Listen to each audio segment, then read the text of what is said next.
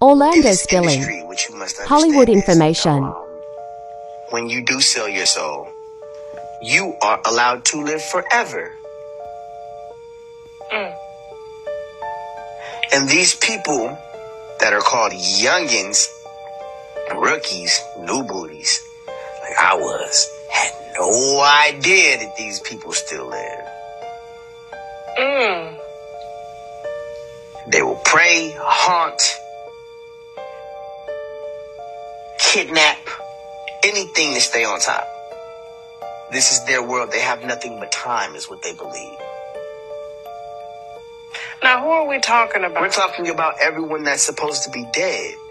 Like it's it's a there is In the world- industry. In the industry. Okay. You know when you when you know when you walk around with the with the with the fake face and sh- you know what I'm saying? Yeah.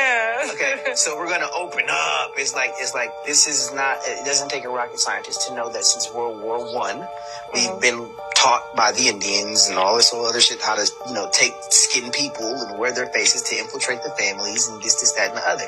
This is something that has been going on since World War One and before that. So now we've conquered the art of exchanging spirits, trading spirits. So it's supposed to be hard to identify. But when it comes down to it, this this world of Hollywood, this wicked world is what they call it. Some people call it Hollyweird.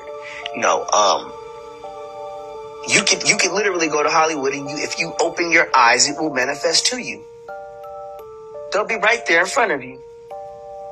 The people who are trading The people who are the people who are on the walls, the people who are idolized, are laying in their vomit on Hollywood Boulevard. And you have to open your eyes. It's done right in front of us. See, and if you're willing to sell your soul, you know, then you'll be right there too. Is this the Illuminati? Well, it's not my family. It's not my family. Well, I I can't blame that on me and my family, but I can't blame it on others. I could blame it on those that that caused the harm on themselves by coming to the Illuminati and trying to sacrifice themselves in order to get ahead. Can't blame those people. I mean, there's a lot of talk about it, you know, on YouTube. You know, we call it the wormhole of YouTube. But to hear you as a child star come out and say that this exists, mm, you know, these people are doing whatever they got to do to stay alive and